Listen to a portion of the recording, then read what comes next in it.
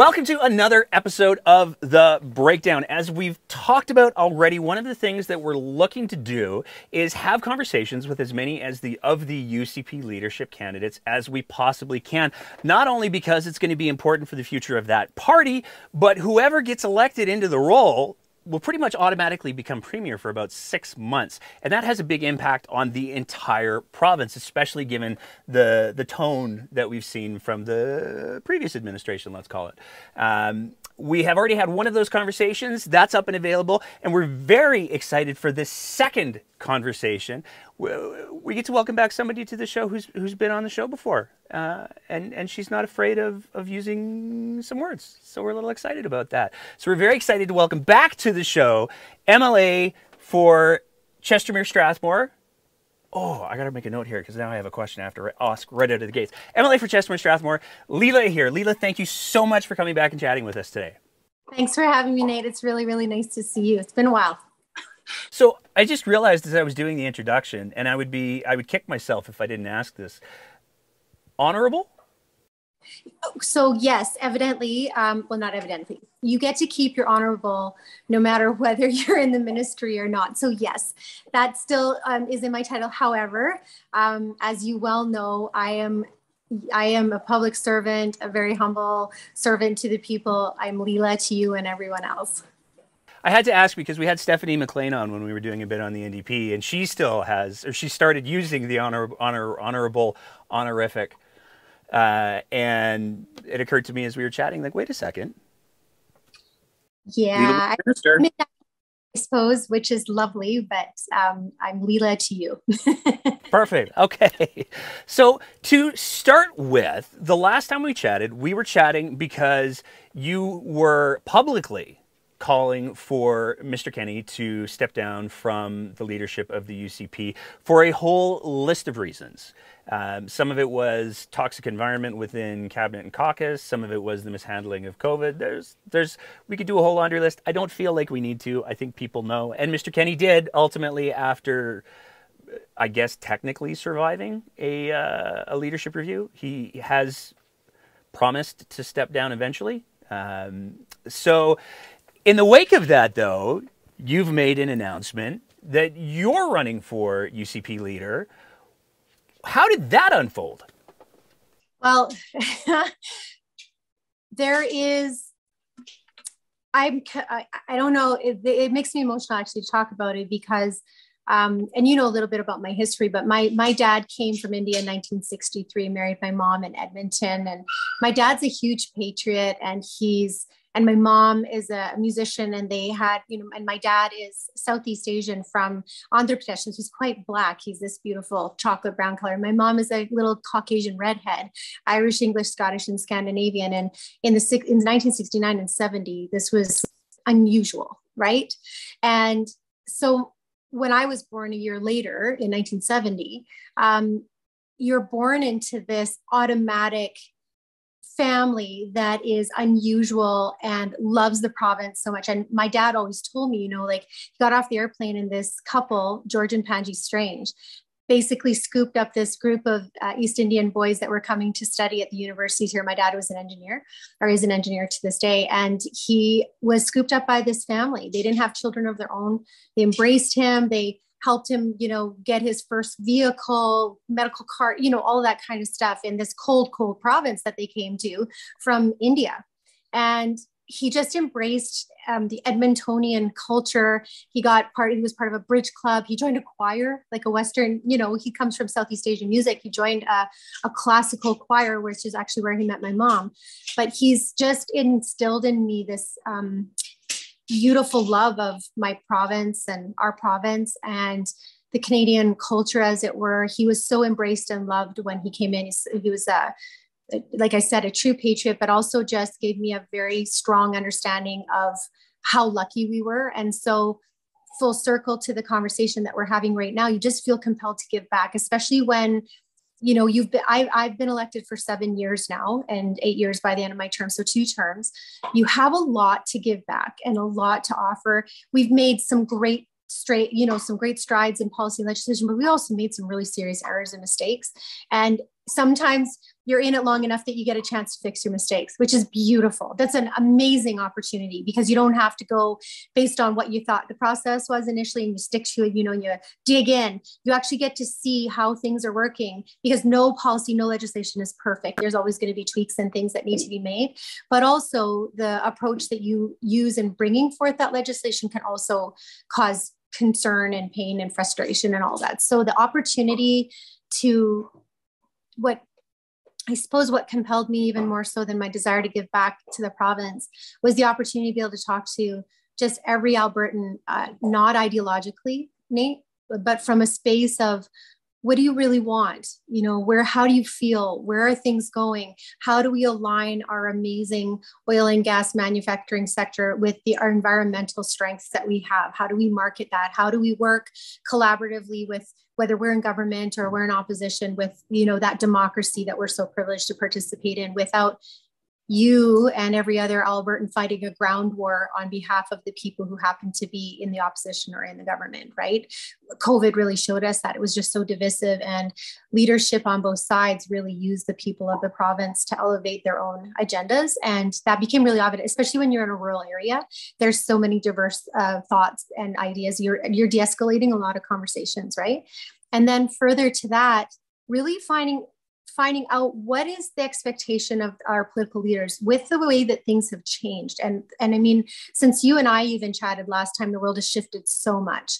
How do you how do you incorporate that be of an excellent leader of any sort of whether that's in your community in your family if you have the privilege of sitting where i am right now and bring those folks together so that opposition is used for robust debate in order to debate the issues, to bring forward better legislation or to justify the legislation you have, work with our federal counterparts. I mean, I have as many issues with the feds as anybody, but that is our federal government. And we have to figure out a way to carve out some time and some space to figure out how we bring Alberta into into the light, right? And really shine lights on our capacity, what we're capable of here, our, our, our, uh, our economic power as far as you know what we bring to the country who we are as people our cultural savvy that we have here that a lot of people don't know the kind of heartbeat that we have. We have you know a population of 325000 francophonie we're actually i don't know if you knew this but um, right now as our population sits 51% of the population is women which is very powerful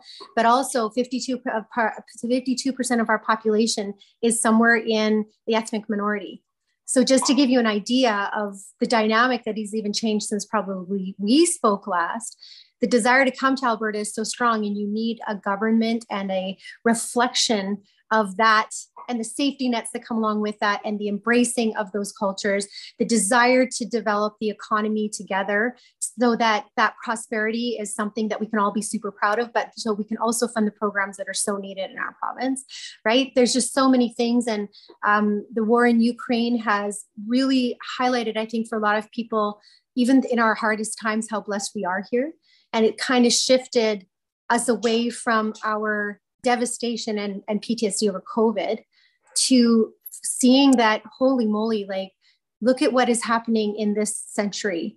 There is a movement to try and take over a country at this time in the world. Not that it's not happening elsewhere, but what a what a call to action for you know what you and i are responsible for. How how how what is our behavior going to leverage? There are so many things that could happen as a result of what is going on in ukraine right now. Those are sensitivities that i think are very important and need to be reflected in how we treat people and how we speak to them now, there's a lot to unpack there, and I'm going to try to unpack some of it. But I think the thing that I want to uh, start with is you talked about the relationship between the, the, the government and the opposition.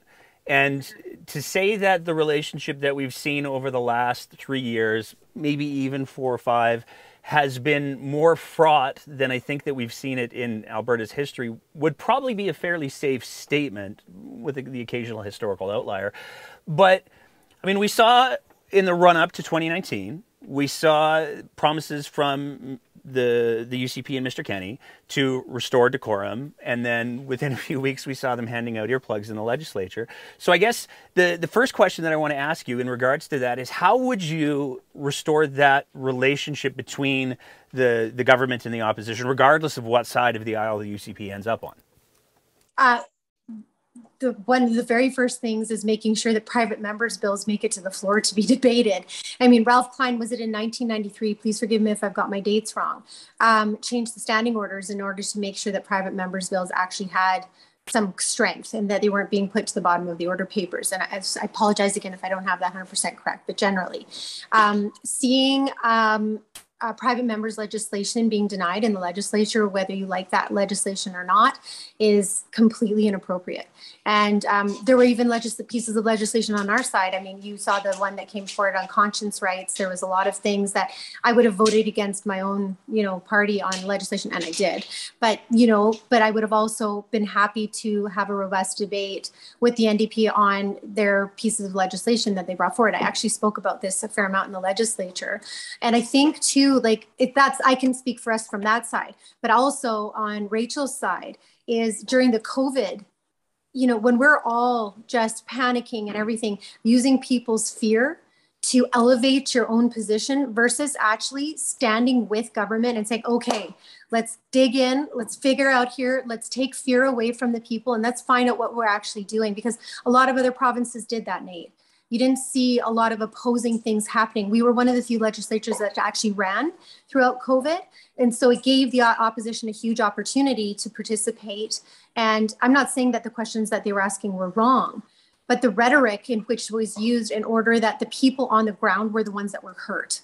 The, us, the, oh, those of us who are sitting in the legislature, we have we have access to a little bit more information than you do. We're, we're in a you know our, our, our relative bubbles of what we think is going on, but you're the ones who get hurt. You're finding a ground war that is happening between two ideological groups that can't get their crap together in order to help people, right? That's that's what I that was a real game changer for me.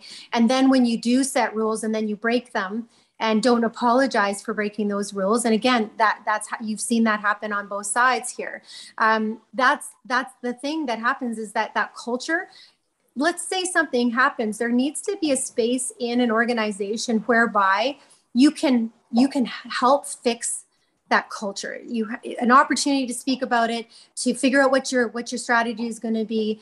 Um, apologize alter change um, you know talk about those things. There is no the, the legislature it has no culture of that never has and we actually need to change that. That respect if that is happening in that building will it bleeds out to when you're with the people. And so that your language isn't always so abrasive or aggressive or, or whatever. I mean i'm a very aggressive person when it comes to debate. And when i want to get things done i have i don't have any um, concerns about saying that i'm confident in the way that i speak or anything like that. I have no problems debating the issues. But when it comes to the human interaction part of it um, there, we have a responsibility to the people that we serve and that requires humility. It requires being able to back down for a minute to be able to see if what you're actually doing and saying is helping the people, or are you being part, are you part of the problem? And those are, that's the entire premise of why I'm sitting in front of you today to put in, to ask Albertans for the permission to lead alongside of them is because there is a humongous opportunity to build and not divide. There's a humongous opportunity of optimism and to not throw people um, aside for ideological reasons. There's a humongous opportunity to see the future and to plan ahead and to have the opposition be there in that democratic way to hold us accountable. And some of that might mean like when you're when you're looking at more um, serious pieces of legislation that you bring opposition and oppositional people to the table to actually have a discussion about it. So you know you get lots of ideas from lots of different places. I, th- I think that was a boat that we missed in covid too. There was a lot of interesting ideas out there but if, if there was a transparent discussion about it let's say right and everybody's around the table and you pull the best information that you can along with the science of the doctors that are leading that discussion you open up a lot more people's eyes that you're at least open to the discussion doesn't mean that you have to agree doesn't mean that you're you know pro you know I, as you know i'm pro vaccine I, I did my um, I did my utmost in my community to share that as much as possible, but I'm also pro choice. So I want people to have choice over their bodies. It's imperative for me from women's uh, reproductive rights all the way to uh, mandates for vaccines. I, I, don't I don't speak out of both sides of my mouth with that. I'm I'm pro choice on all things that way. So those are and, and what i found is that having conversations in my riding where we had a lot of folks in the convoy a lot of folks that were scared of vaccine a lot of folks that were in that space you know if you sat and had a conversation with these people um, you're not going to necessarily agree on because obviously we're coming from a different perspective but there was a mutual respect that was found there and at least they trust you enough to know that they can have the conversation now I, I want to jump into one thing that you said there because the the the piece around the vaccine mandates has been a highly controversial piece in Alberta. Um, well, I mean, really anywhere that they, everywhere they've enacted. Yeah. Um, but one of the things that we saw in Alberta was when the province was trying to get people vaccinated, they really did try to go with the carrot approach first, where they were like, we'll give you free tickets to Stampede. I still can't get through that without laughing. I apologize. Uh, as well as they they offered the cash incentives and all of that. But it wasn't until the vaccine mandates were introduced that we saw triple the uptake in the vaccination rates. So, uh, you know, the I think that there's a, a fine line to be had in regards to well, you. I don't think that anyone was forced to get vaccinated. That's my personal opinion. Um, I think that I think that people had the choice. Yeah, it was language though, right? Uh, yeah. This is yeah, hundred percent. We're on the same page there. Yeah. Okay. So would you would you say that you supported the decision by the province to introduce the what was it, uh, REP? The so I think that at that point in time, the province was doing what the businesses were asking us to do, and I think that when that happens, you have to. That was a good consultation how it was it's not the idea nate. It is the implementation. This is where we failed regularly right? When you're doing an, an rep program or for example to go further down the line to a vaccine passport or whatever they were calling it right? When you're going into that and the advice is being given early on your responsibility then especially because none of us really knew what was going on like we were trying our best like any other government right? To try and figure out what the opportunities were there to help people to get vaccinated you have to give people lead up and understanding and time and ability to adapt. And especially in in places like restaurants and stuff where sometimes it was really hard to enforce there has to be a general understanding. And then you also have so that's one line. But then you have the other line like you were saying it's not like you were being forced to get vaccinated although in some spaces there were. But then you have to have those protocols really well outlined for those who are not as well too so that that we know that masking and distance and all of these other things are hugely important in the spread. And if we're talking about what's important here we're talking about you know keeping people out of the hospital and about and about transmission course, when all of this stuff was coming in, we're sort of in wave three, wave four, and we didn't know with Delta what was going on. By Omicron, we realized it doesn't matter if you're vaccinated, you're still a carrier, you're still transmissible. So there's a very different mentality with that than you would have with what we knew about the wave three and, and the delta variant right so all of those things being equal i think you do the best you can under the circumstances but then then following that you have a responsibility to reach out to people and be super humble and super compelling in the why. Does that make sense? There are so many things that we can accomplish together that are really difficult decisions that you stick by but you sit you are implementing it in a way that makes sense. It's not confusing. You have open doors of communication. And i'm like i'm saying it wasn't just us that that had these problems. This is a global issue but then to continue the process of making those mistakes after the fact that's where the problem came in right and so again i'm sitting in front of you in a very privileged position of knowing better now. So that's the past. We did what we did at that point in time. What now? Right. And if, and if, for example, if the opposition had worked collaboratively with the government to sit down and say, okay, how are we how are we going about this? This is what we're hearing in Edmonton. This is what we're hearing here. That's what we're hearing in Grande Prairie. This is what we're hearing in Strathmore you have to also be able to rely on your municipal governments who are also elected bodies to be able to work collaboratively with you so you have local solutions to local problems because the city of edmonton is going to have a very very different look and outcome than a smaller village that is outside and those are very that's a cultural sensitivity not only to rural, but also to the families. Like if we look at what happened in Brooks, for example, you know, we have so many of these beautiful um, new families that are coming from all over the world. There's a very compelling reason to make sure that our information is being translated and, and, and put into good space for people to understand. It doesn't mean you're going to be able to stop all of those things from happening, but that your reasons of implementation come from a very good place, right? So I, I think that the intention has to has to match the work and then the implementation has to be part of that humility of like saying look at i we're in a we're in a schmozzle here. This is really difficult.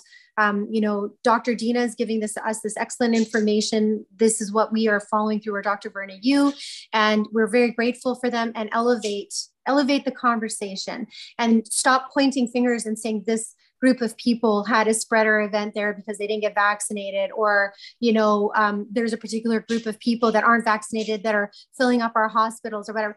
All of those may be factual in some aspect or the other but how you handle it and the way you communicate and the humility with which you enter into those conversations makes all the difference for your outcomes it's interesting you say that because one of the things that we've heard here over and over and over again, uh, even from you know some of the the more well-known political analysts, we had Duane Bratt on the show a while back, and he was very clear. Almost, and it's fascinating having conversations with people because almost everybody puts a pin in the moment where they lost faith with uh, Aloha Gate, and it all stems from the fact that there was uh, a perceived and real double standard that existed where the the government communication was please stay home. Yes it's christmas. We know it sucks. Please stay home. Don't go nowhere. And then we saw other people not doing that and that made people angry. I mean i've i've argued for years that one cardinal sin in alberta in politics is if you if you start to behave like you think you're better than the electorate oh you're going to have some problems. Um, but moving on from there because we've got a lot of ground to cover. Um, yeah. curriculum Yes. What so, do you want to know? well, we're seeing uh, it's, I, I don't know if you've heard, it's been a little problematic. Yeah, no, I, I thought of that conversation. Yeah, you're gonna have to tell me. Sorry, I'm just joking. I shouldn't joke um, about this. Pretty, this is serious stuff. Well, it is serious, but I think we have to be able to still still use humor. Otherwise, we just are sad people.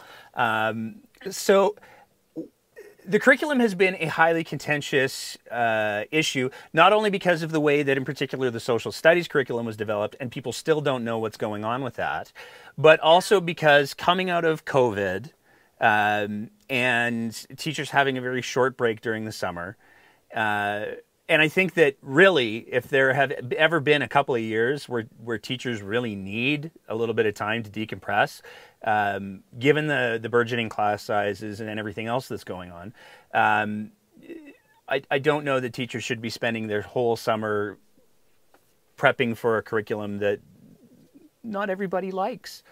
What would you, what would your, if, if you get elected as UCP leader, what is your position on on the curriculum? Do we keep it the whole thing? Do we keep parts of it? Uh, do we do we scrap it?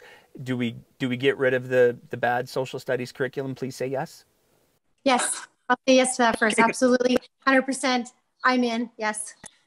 Okay. Yeah. Yay for that. Okay. Can I start backwards and work to the front of your question? Absolutely. Absolutely. Okay. So um, I'm going to the reason I would like to give some context is because um, what I'd like to see happen, and this will be part of um, what I'll be putting on a much more uh, solid statement, but just to give you some background of what I believe. Um, we it wouldn't matter it could be the most per perfect curriculum in the world it was marketed wrong it was brought to the people wrong again remember how we were just talking about humility implementation all of the things it completely applies to this curriculum as well too. And so aside from the um, horrific errors and and whatnot that was happening in the curriculum, uh, upon having the privilege of talking to um, the ATA, uh, teachers, and, and, I'm talking teachers from all ideologies, all background, uh, everybody can imagine, principals, um, parents, the um, the kiddos as well too. Uh, try and understand. And then you brought up the point of of COVID, good Lord, Lord knows, I mean, it's just thrown everything, you know, by the wayside. The curriculum was an ambitious thing from the beginning, and the NDP had already done some work, and the entire notion that something had to be completely thrown out from the beginning started us off on the wrong foot. Does that make sense? Um, I think so yeah and i'm not saying I, am I'm part of that problem nate. I, I i was part of that issue but i also didn't particularly appreciate the way that the ndp had implemented theirs either. So i came from the wild rose side of things and and the ucp when i was the critic over there and was having not not nearly this level of problems but there was issues with that one as well too. Nobody's perfect. It's going to happen. So that's that's part of normal debate. I'm not this isn't in any way to demean the um the work that has been done on either side here so upon talking to uh, multiple school boards and um, trustees and all, all, the other, all the smart people, right? Um, there's there's some really good stuff that has come out of this curriculum, and and that's good. So so those pieces are good. Again, let's talk about implementation. Let's talk about resources, and let's talk about timing. When you have an ambitious agenda like that, and there's no evergreen portion of it where you're doing sections or that you're you're having chances to sort of pilot a couple of different things. It is very very difficult even when there's not a pandemic to uh, to be able and i'm speaking out of uh, from not being an experienced teacher so please forgive me. This is not my journey but this is just based on my you know my consultations so did it need to be updated? 100%. Did there need to be, absolutely. There's lots of things that still needed to be done. Um, and I think there's some really, really positive parts by and large, but we, our, our teachers are exhausted. Our parents are exhausted. The kids have finally had a graduation for the first time in two and a half years. Um, by and large, I believe that they just want more time and they need more resources. I think again, and the reason why I I'm saying to you about the curriculum having good pieces isn't because I, that's not a me thing. I'm not a I'm not a curriculum expert. This is coming from the people, right? And um, and I think that because of you know the parents were used again as um, political footballs in all of this. So you know how are they supposed to know what's going on and especially in the midst of covid too having to deal with kids at home having their own professional obligations all of that right?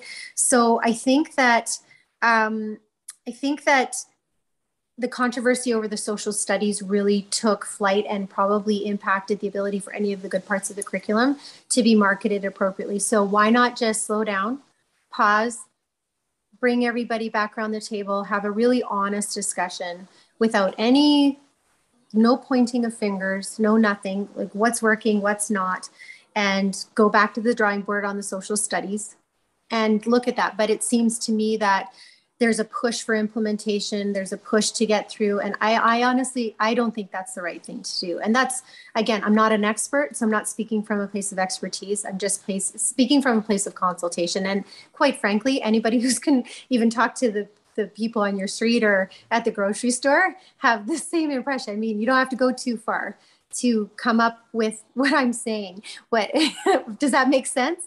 I think it does, and I, I think you make a good point.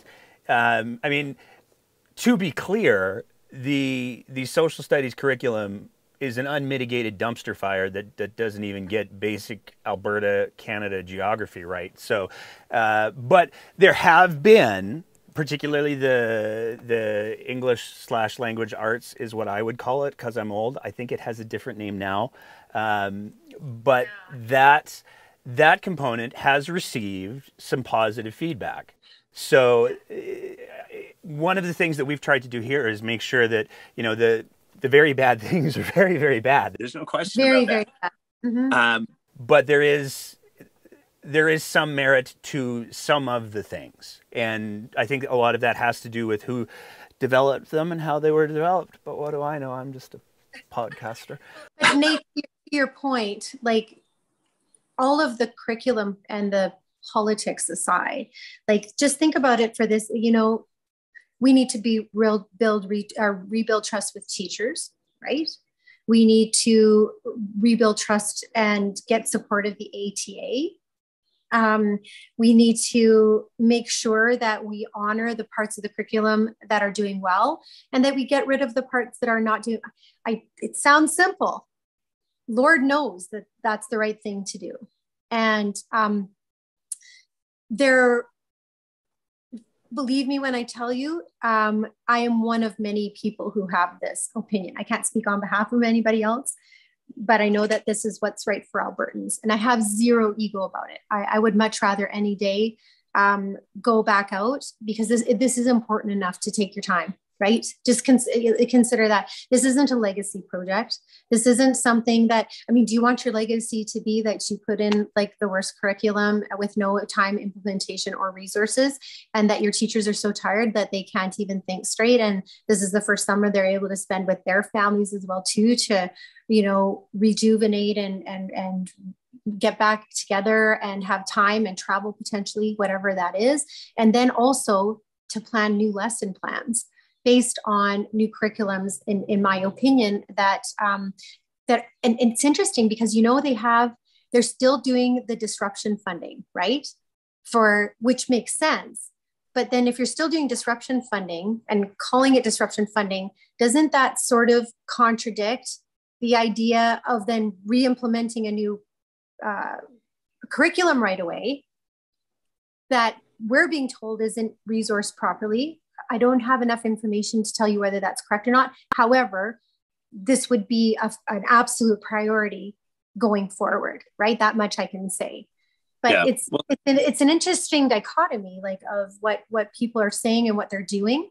And again, we fall into this issue of idea, bringing it forward, and holy crap, terrible implementation. Yeah, it's the the legacy piece. I think is important because you know, when you were when you were talking about you know who really wants to take credit, I can't think of many examples, if any, off the top of my head, where somebody's been standing in front of a raging dump fi- dumpster fire and gone, "I did that." Uh, proudly. So, um, but I want to stick with education for two more points: class sizes and learning conditions. Um, this is something that a lot of teachers wanted to see included in the recent mediated contract with the uh, employer. Um, and the mediator said that the two sides were so far apart on it that they couldn't even include it in the mediated contract. Um, is that a priority for you? Would that be a priority with your? I mean, if you're elected and you become premier, um, yeah is that something that you would try to address in those five six months? Is that something that you would try to bring forward in a new platform? I mean it's a big big beast. It's not going to get solved in five six months i would but... be yeah I, be, I wish i had a silver bullet for you on this because as you know in different areas it's it's there are different and unique things. And if i may um, classroom size is i'm not saying it's not an issue but just put that aside for a second. If you talk to any teacher you want to know what the problem is it's the complexity of the classroom that's actually the major issue. Um, we all preach about inclusion. I have special needs child, so I'm speaking from a very, very honest place about this.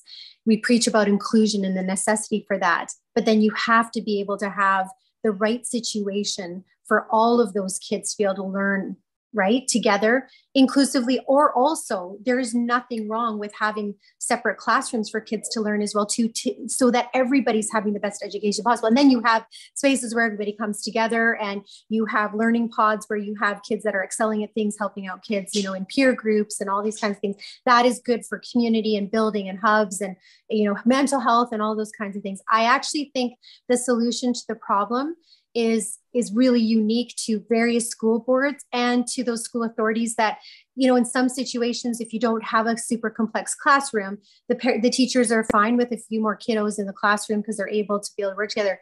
But that's not the case in many of the situations, the complexity of the classroom is you could have only 25 kiddos, right, in there. But if that is a really complex classroom where you have several kids that are, you know, English is not their first language and they're just learning. So there's super amounts of intelligence there, but reaching them is different. And then you have kids that are going through mental health and, and issues at home that, again, you know, are are not having capacity like the teachers are dealing with all of that so yes and no I think it's part of the problem, but I think it's another politicized issue. It is not an overnight thing. You have to be able to build that infrastructure. One. Number two, do you have the teachers to fill the spots? No, we don't. We could build as many classrooms as we want to, but you also have to have the teachers to teach in there. So that's those are two things that are very pragmatic and and imp- important parts of the solution but those are that's a bit more long term if we're talking short term right now we actually have to look at the composition of the classrooms and find out how best we can support our teachers in those situations so that um, whether that is um, more aides coming in or supports natural supports in the school that help with the um, complexities in that classroom um, whether that is making sure that the teachers are um, having times where they can pull back, you know, like, like their mental health is for, first and foremost in, in particular situations and making sure that there are spaces to be able to move kids around to as needed in order to be able to help the, the learning that happens in any particular classroom. It's it, that would be and, and again i'm not the expert. I don't have all the answers. These are things that have been relayed to me by people way smarter than me and i trust the teachers when they tell me that yeah, classroom size is an issue, but in all honesty, it's the complexity in the classrooms that have been probably the most challenging. And you have to understand um, our mental health, relative mental health is, is, is tough right now at the best of times. And our kids and teachers are right within that as well too. So I think if we took all of that into consideration and looked at like maybe the funding needs to change nate like maybe we're maybe the allocations where they're going how that's working needs to be looked at differently. And that's something that the government and the school authorities have to actually discuss together. Um, the, the deal that was struck the other day was a good deal. I'm grateful that it went through. That's awesome. Um, does it solve all the problems? No it does not. However, I don't want to get caught into a discussion that becomes another political football that I can't actually solve for you. I would be lying um, if I said I could solve that or if I had a solution. Um, talent is as important as spaces. We learned that during COVID. We had thousands of rooms, uh, spaces available for beds if we needed to expand care, but we only had so many respiratory therapists, only so many ICU nurses, and only so many people with capacity to be able to deal with those that were in ICU. So it's the same sort of thing. I hope that makes sense. I think it does. I, I mean, I'm going to rephrase the question. Would it would it be a, something that would be a priority for your administration? Oh absolutely. But you have to but again i'm just i'm just giving you an honest yeah no no. Yeah, yeah. It, there's there's so many things like we're building a lot of schools right now right which is great. Um, and we just have to make sure we got the teachers to be in there. So i think you'll see capacity change. Like my my community of chestermere and strathmore fights for second and third fastest growing community in canada. So we just actually i just was shoveling the dirt onto Prasad Panda today, Minister Panda, for a school that we've been working on for seven and a half years. So it was such a beautiful day. But if I, but Nate, I, you know, people give the government credit for that. We are, we are the, we're the stewards of your dollars. We don't get credit for building a school. That's your money. Our responsibility is to build that. You want to know who got that school done? The volunteers, the community, the lobbies. And guess what? The kids wrote me five or 600 letters that's what built that. This community built that school. Their taxpayer dollars built that school. Again, if you look at it with that lens and a different humility, and you can hear people differently, I think we can solve a lot of these problems. There's um there's one school in Red Deer, and I'm sorry, I'm grasping for the name of it, but they've had an immense success because they have this um a set of like six counselors slash psychologists that are available to all of the kids right in the school. And so what has happened is that it's reduced stigma around having the conversations. Everybody has access to these wonderful humans that have built this support network in that school it has taken the pressure off of the teachers that are you know not knowing how to obviously be able to teach and cope with you know the action you know the, the, the acting out right of a kiddo that is having a hard time. And they've really taken the ball and been able to figure out that's a solution you can look at. That's not necessarily a bigger classroom but it, it helps with the capacity right? So does that make sense? I think so yeah. Um, i would if i don't ask this question i know that the the, the comments and, and and my god the tweets will never end so i have to ask it gsas we saw the UCP roll back some changes uh, for the protections of GSAs, predominantly the piece that had to do with requiring a, a timeline for GSAs to be formed. Would you do anything with GSA legislation? Would you keep it the same? Would you make some changes? Oh, I'm happy to make changes. I think um, uh, Pam Krause actually, I don't know, do you remember the article that she wrote in? Um, it was talking about the GSAs. One, the greatest thing that happened for me and all of that is that they're entrenched in legislation. There's nowhere else in the country that, that where, where that is.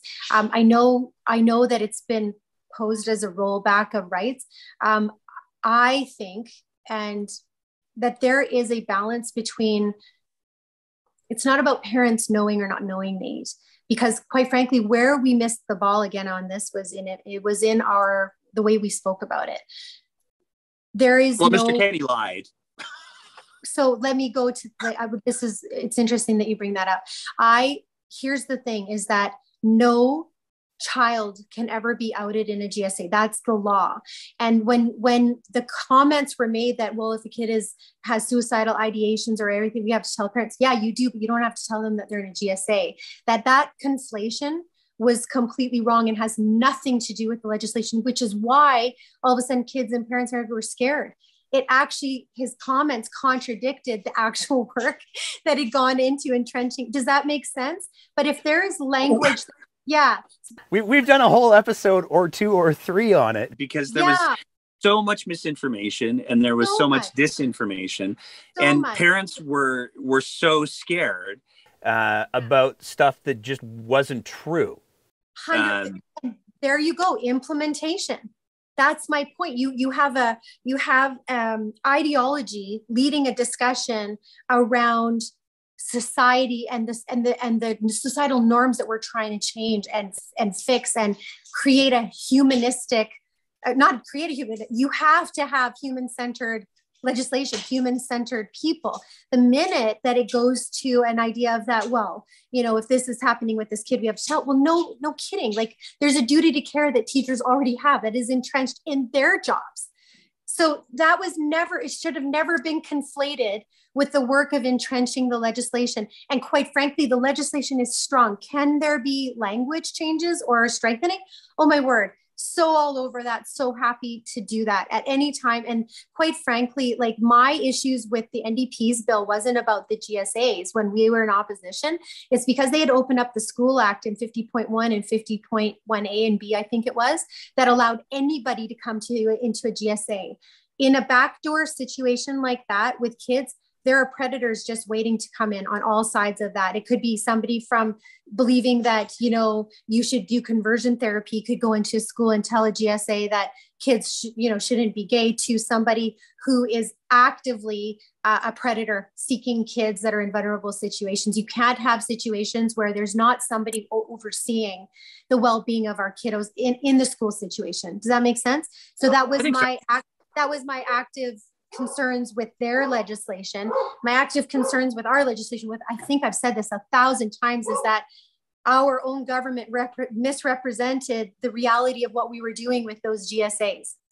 And if there is like you know the the word immediate was taken out if we need to put the word immediately back in i'm all in happy to do it if that helps then let's do it this is a okay. simple change for me that um, 80, 90% of Albertans would be absolutely content with, 100%.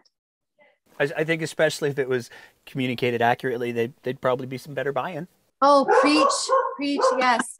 100%. And only one person speaking out about it, it doesn't make enough sense. It just makes me look like I'm validating the bad decisions. But in all honesty, um, this was this was things that I was super proud of to try and entrench because in the sense that in Canada there is no other province that has the legislation that where it is illegal not to allow a student to start a GSA.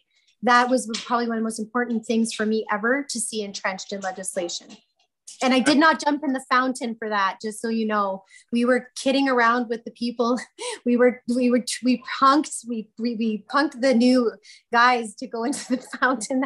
I, I know you probably saw the Twitter thing on that, but anyways, just oh, saying. Oh, I, I think though I think I mean here's here's my my we'll we'll do the fountain thing and then I have two other actual things that I want to okay. get through. Um, but I think that that the the big reaction from the the fountain thing was because Mr. Kenney and other members of the UCP had misrepresented the GSA piece so big and they had made it such a emotional hotspot for people on both sides of the I can't even call it a debate because so much of it was lies. The the furor, I guess. Um, I think that there were a lot of people who saw that picture and went, "Really though?" If I may, Nate, no. Yeah, absolutely. They saw that picture and then it was used to go, "Really no." if the picture had been put forward like, oh, we just punked a whole bunch of new MLAs telling them that they had to jump in the fountain at the at the end of their first session, it would have been a different story. However, somebody used that in that because there was obviously pain and fear.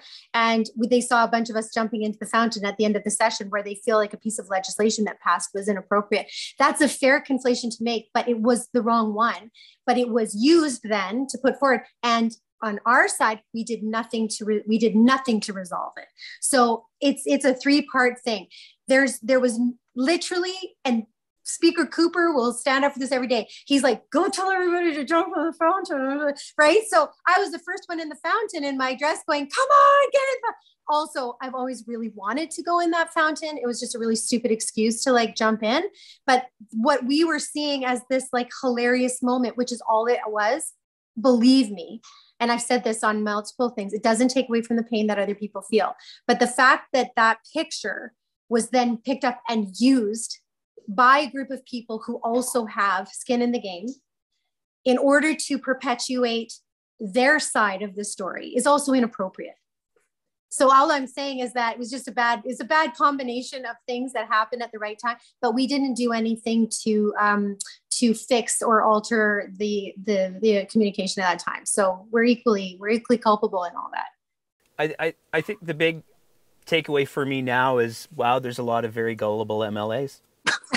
there's a lot of gullible MLAs, but that's because we jumped in ourselves, right? If we hadn't jumped in, and I'm going to go in the fountain again once I fix that legislation and say, okay, new fountain picture, better day.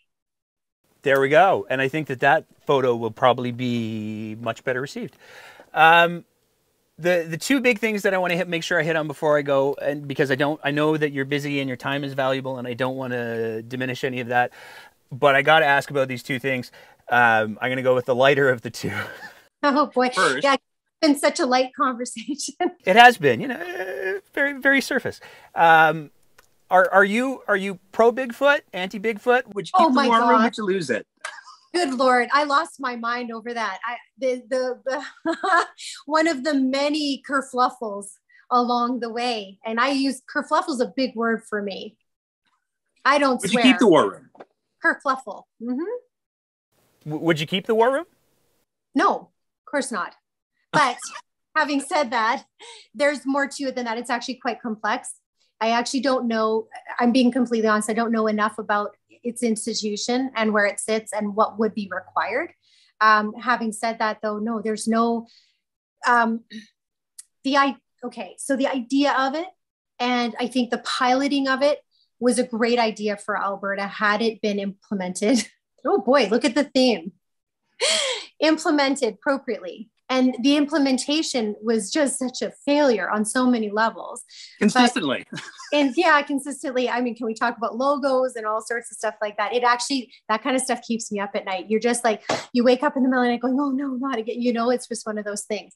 Um, do i believe that there is a necessity to be able to promote and elevate and manage our incredible resources that we have in this province aligned with our environmental ability 100% um, but quite frankly nate if i've learned one thing through all of this um, dividing people destroying pulling down all of this does not does not a province make our province needs to be built on our strength and our resilience and the things that we should be proud of. We should be so proud of our oil and gas sector. But you know what I'm even more proud of is that every oil and gas person that I've spoken to in probably the last month and a half, this was before I was even running, you want you know what they care about?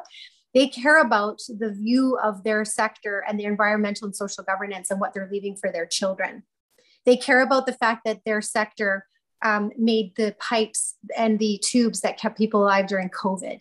They care about the, the fact that oil and gas right now is a commodity in Canada, given the horrific things that are going on in Ukraine, that a light is being shone on our sector and what a beautiful job we do. And also, along with that, the divestment of not divestment, but the, the, the ability to divest into other types of energy because we know that that combination of energy, including nuclear and hydrogen at some point in time, are going to be part of that mix.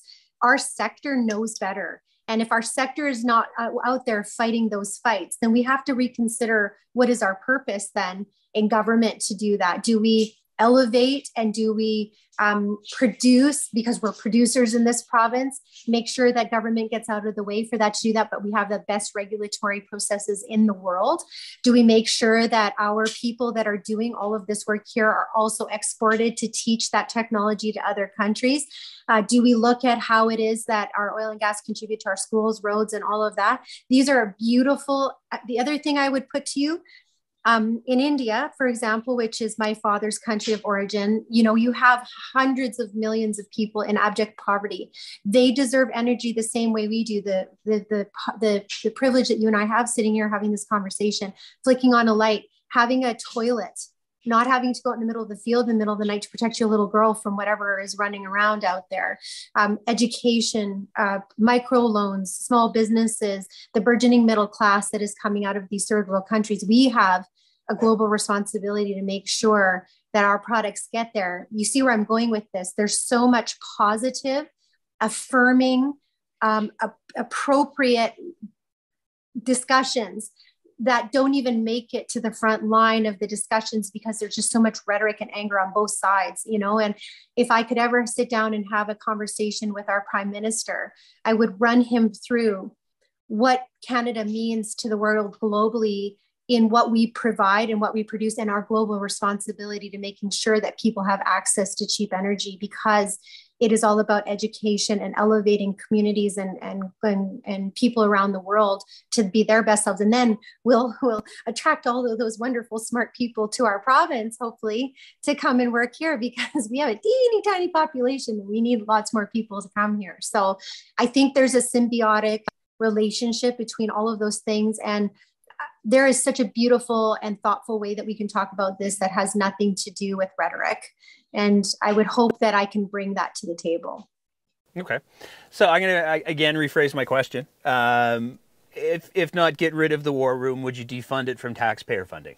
Oh yeah, like there's there's no yes, and again, I don't know how the corporation is set up, so I don't like Not I swipeable. I, I know that. Yeah, so we have some work to do, right? And and somebody like me has to actually get in there to be able to make that happen, right? Okay. So, but my promise is to you is that we're, we're gonna blow it open and see what it's what's going on in there and make sure that uh, that we fix that because um, like I said to you, I think I've given you about a thousand other reasons of what we what is possible.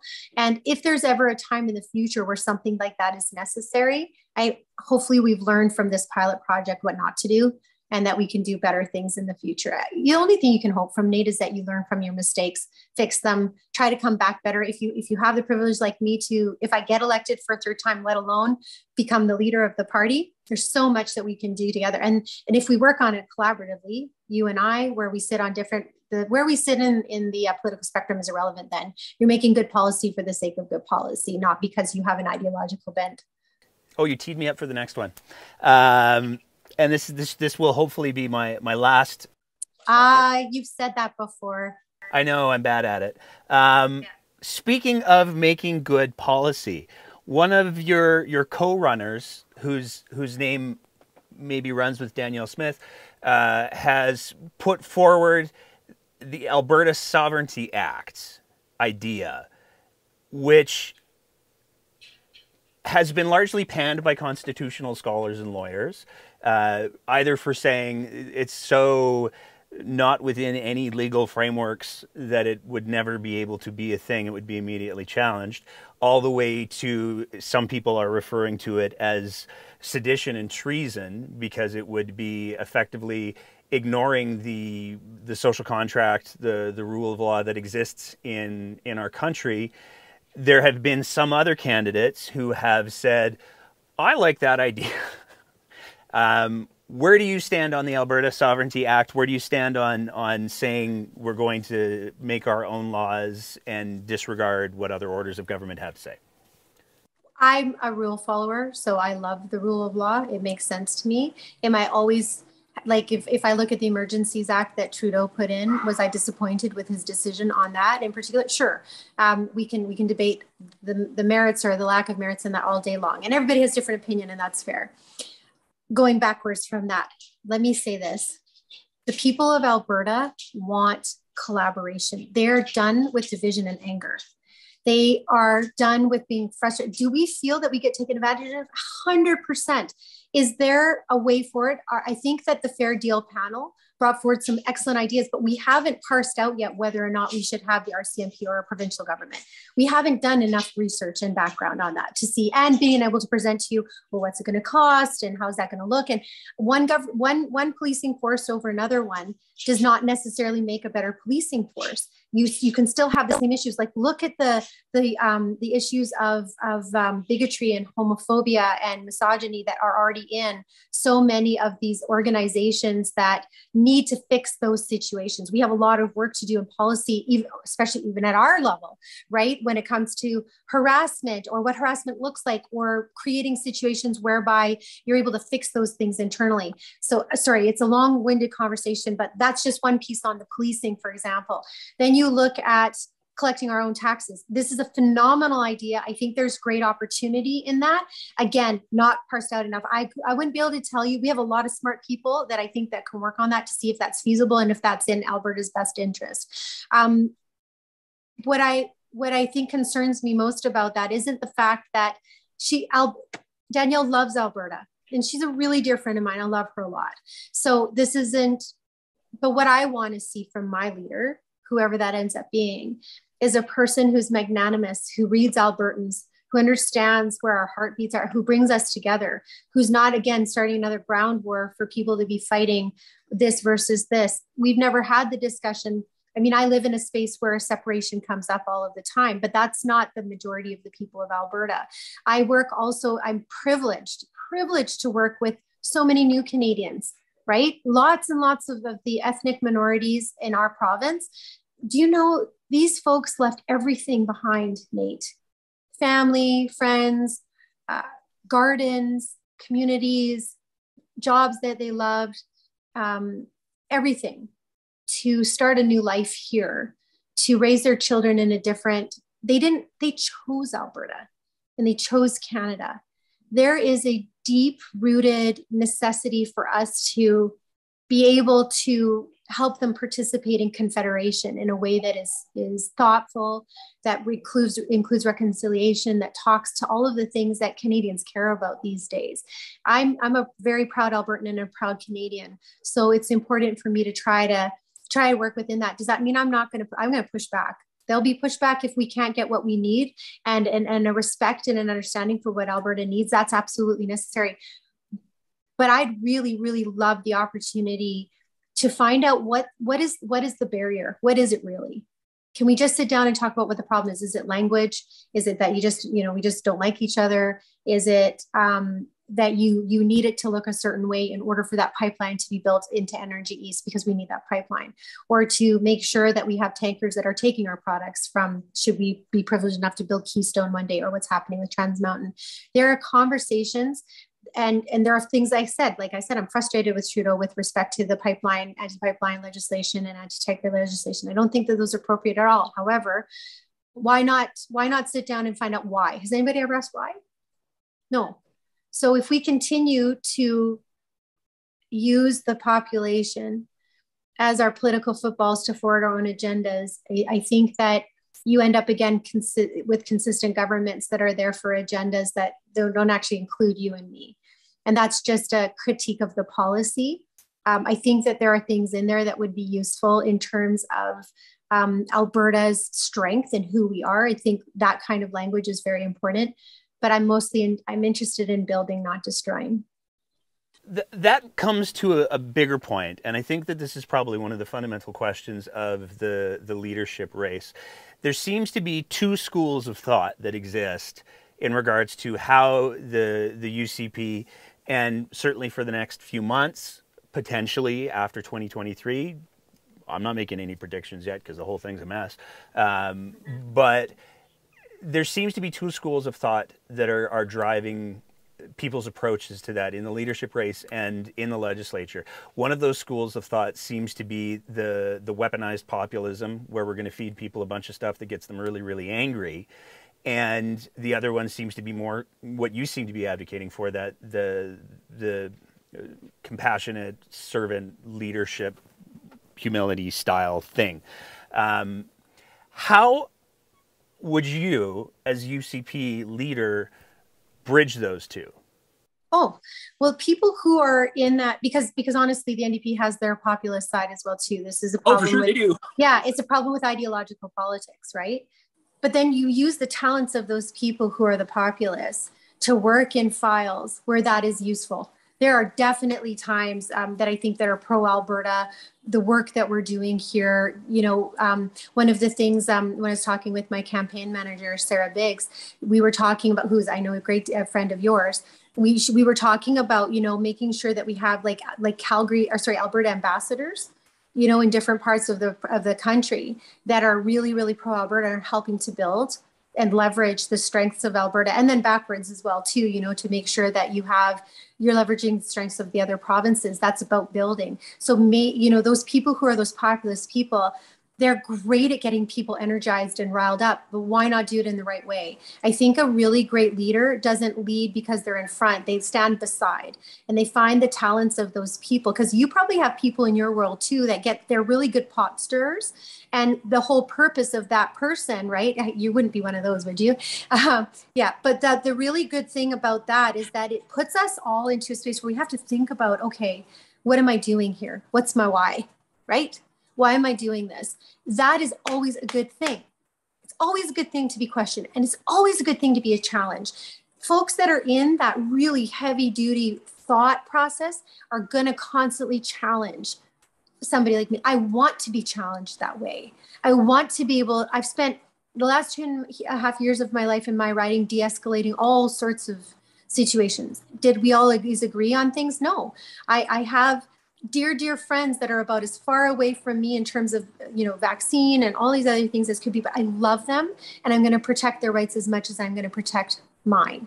But once one person's rights goes over the other line of the other person's rights that's when we've crossed a barrier. And that's when true leadership has to step in. The populism has to disappear and you have to come up with some sort of way to maneuver and navigate a difficult situation, which is not going to make everybody happy. But you stick to your guns, you stay consistent in your messaging, you do it from a place of empathy, you apologize when you get things wrong, and you promise to try and get better. And you surround yourself with people who are smarter than you so that you're working together collaboratively to build the province that we all know and love. And I keep hearing about how, you know, take out, we're going to get Alberta back, or we're going to, you know, bring back the Alberta advantage. Al- Alberta's never had a disadvantage. This province will be fine despite whatever government is there. We are resilient, strong, amazing human beings. Doesn't matter. But the government that is there, we have a responsibility to elevate that process. We have to answer to the people. Our, uh, Alberta will never again elect arrogance, top down, egocentric, ideological governments. It will not happen ever again. No, it won't because even if one if, if if there's something that gets in there, the people of Alberta have been through too much. They're not going to sit quietly. And that's a beautiful thing. The engagement level that COVID has brought out of all of these folks, whew, I get asked the most insane questions by people in not insane, but like you know in a grocery store, right, or at Walmart, or at my little the little small businesses here. You just can't even get your nails done with getting into a you know a really really cool conversation. But the the people who whether that's our First Nations, which you know we spend a lot of time with out where I live, and a lot of the, the, the things that I'm talking about with you, Nate, has been really inspired by my own culture and First Nations culture because that uh, idea of collaboration and, and you can't always build full consensus, but getting to that point is really that process is really important, and it doesn't take as long as you think it does It just requires a transparent and an honest discussion. What if you brought all of the people around the table to have a discussion about COVID from every set, from people who believe in in um, you know uh, you know different kinds of treatments to you know people that were you know rubbing their skins down or i think people were actually drinking like ethyl alcohol right like there was yeah. all sorts of stuff that was going on all of the things right what if everybody was at a table and we as politicians and regular everyday severely normal albertans sat and listened to that. And then you take it to the experts and go okay can you can you like make sense of this for me? And then you come back but you've been listened to. It doesn't matter. And i'll say this one last thing. Um, when all of the convoy stuff was happening and the blockades at Coutts and what happened in Ottawa and what's continuing to happen in Ottawa, do you know what I needed to see? I needed to see our leadership on both sides come out and talk to people. They didn't have to agree, and I know that it was scary because people, it was there was a lot of things that were going on, but our prime minister and our premier both needed to show humility and have a meeting with those people sit in a room with them somewhere, have them move their trucks away from the places that were impacting the lives of people and have a conversation and you can say to them i can't i can't believe you're doing this. I think what you're doing is wrong. I don't agree. All of those things it's a very fair discussion to have. But these are leaders of our country and leaders of our province. You don't always get to talk to your your bubble to your your your you know your yes people. Your responsibility is actually to talk to your no people and to try and to try and get them to understand and and to lead with compassion at least to hear the argument you don't have to agree with it. And and maybe you know the fear was is that people would say oh my gosh they're meeting with these people. Well, yeah these are albertans and we're trying to get them off the road so Coutts border can open. Like it's a reasonable request. But we didn't have the capacity to message that too appropriately. And so and neither did the trudeau government. And so therefore there was a lost opportunity there in my opinion to lead with compassion and to lead with um, to lead with in a different way that I think all of us need at this point in time. You have been so generous with your time, and I have taken up so very much of it. Uh, so I just want to say uh, a big thank you for taking the time to sit down uh, and answer some some questions, some of which I, I know may not have been the most comfortable, um, but I really do I really do appreciate it. Um, and I would argue, and the reason why we're trying to get as many candidates to the table as we can, it is this level of transparency, especially from a UCP government, that Albertans need to see now more than ever, given the damage that has regrettably been done in some ways. Nate, you, you everything you said is correct. It's our responsibility now to earn back the trust of Albertans. We have a magnificent opportunity to do that so your difficult questions are worthy and and i'm sorry i didn't have all the answers for you I, there's no you know i wouldn't be able to do that and i'd be lying to you if i told you something else but the one thing i can promise you is that i'll work on all of it and that i'm willing to work with people and that um, i don't get offended so if there's something that i'm doing wrong or that i need to fix language that needs to be changed, I'm all in. If it makes it better for Albertans, I have zero ideological bent that could cause me trouble or may not. But if I was, I have to tell you the truth in what I'm trying to accomplish here. And if Alberta is ready for that, if Alberta is ready for a competency that goes beyond academia and goes into um, a competency in emotion and understanding and relationship building, then we might be ready for each other right? And that's that's something that i'm really looking forward to. Awesome. Well thank you again for taking the time today my pleasure. As always, if you appreciate the kind of content that we're trying to produce here at The Breakdown, we would love it if you swung by our Patreon page at www.patreon.com slash thebreakdownab and signed up for a small monthly sponsorship of the work that we're trying to do here. It is because of the support that we receive from our Patreon sponsors that we're able to continually up our game, and it is tremendously appreciated. So I want to throw a big thank you out to them. And you can go ahead and visit that website and join and support us as well because we need all the help we can get. Thank you so much for your attention. Thank you so much for listening and being a part of these important conversations. And we will see you next time on The Breakdown.